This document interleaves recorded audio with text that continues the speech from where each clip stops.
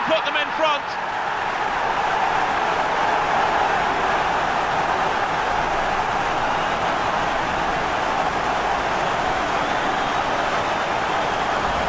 Cannot realise how difficult that is to do on the move to chip a goalkeeper and get it under the bar. Perfect. You can end up looking a fool if you do try it and it doesn't come off because uh, it is such a difficult skill. Just executed it immaculately. It's a poor touch and the possession's gone away. Towards Lewandowski. He's in here.